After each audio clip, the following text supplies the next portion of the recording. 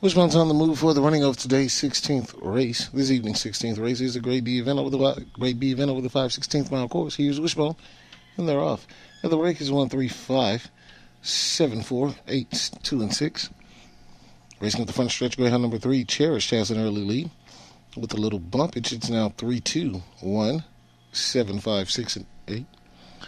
Down the back stretch we go. Still number three, Cherish, followed by number two, I'll go Elytro, number seven, Braska Nixon, and number six, Maja. Rounding the far turn headed up the home stretch. Number three, Cherish, still holding on to the lead. It's a race for second. No one's going to catch number three. Three, two, seven, and six is your order. Please hold all mutuel tickets until the race has been declared official.